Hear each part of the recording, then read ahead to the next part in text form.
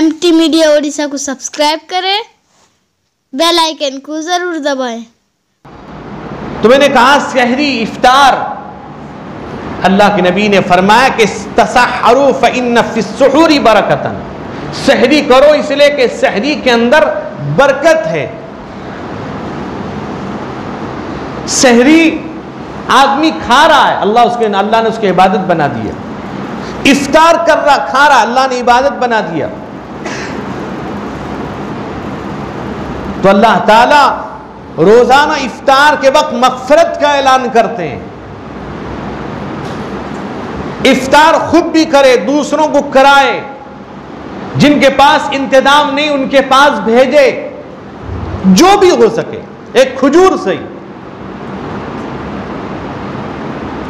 और अल्लाह के नबी ने फरमाया कि ला यजाल उम्मती बखैर इफ्तार व आखिर कि मेरी उम्मत उस वक्त तक भलाई पर रहेगी जब वह इफ्तार में जल्दी, यानी गुरूब के बाद इफ्तार करे और शहरी में ताखीर करे, यानी सुबह सादिक से पहले पहले शहरी कर ले।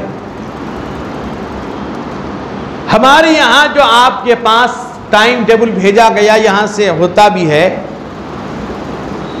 एहतियात के साथ है। यानी अगर आज छह बजकर दस मिनट पर इफ्तार है, ऐलान होता है घंटी बजती है अजान तो छह बज के सात मिनट पर ग्रुप हो जाता है। तीन मिनट इजाफे का है। बास जगह लोग, कल भी हमने देखा, किसी जगह से छह बज के पाँच या छह पर अजान की आवाज़ आई, रोजा नहीं होगा। जहाँ जिस महल में जो कर रहे हैं, वहाँ के महल्ले वाले गौर करें उस पर।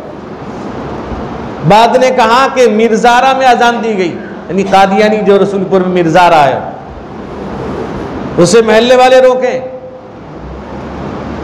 रोजा खराब हो रहा, बहुत से लोगों ने इफ्तार कर लिया था। इस पर बहुत एहतियात करें। अब यहाँ पूरी एहतियात के साथ वक्त दिया गया है। शहरी में भी। तो शहरी में भी तीन मिनट पहले यानी खत्म शहरी जो सुबह सादिक से तीन मिनट पहले घंटी बजाई जाती ऐलान किया जाता है। उसके तीन मिनट के बाद अजान है। अजान उस वक्त नहीं दे सकते, इसलिए कभी सुबह सादिक नहीं हुआ है। तो मिसाल तो अभी हमारे यहाँ अब यह है कि चार बजकर दो में खत्म है। अभी चार बजकर दो में कल खत्म सहरी है। तो अब खत्म सहरी का ऐलान चार बज के दो पे किया जाएगा। लेकिन चार बज के पाँच में अजान होगी। इसलिए कि सुबह सादिक चार बज के पाँच पर है। इसमें बिल्कुल ख्याल रखें, रोज़ाना वक्त देखें। इसमें बहुत से लोग गलती कर जाते हैं। और बार जगह हमने देखा कि हमारे यहाँ अजान होने के बाद हम इफ्तार करते हैं, उसके पाँच मिनट कहीं से अजान की आवाज़ आती है। फिर किस चीज़ का इंतज़ार है इनको? ये मकरू है। रोजा मकरू कर रहे हैं। हमारे यहाँ इफ्तार का का ऐलान, अजान होने के बाद, घंटी के बाद अजान भी हो जाती है। अजान के बाद हम इफ्तार करते रहते हैं, कहीं से अजान की आवाज़ आती है। तो यहाँ ताजील नहीं पाया गया, वहाँ ताखिर हो गया। तो इसी तरह इसका भी ख्याल रखें रोज़े में।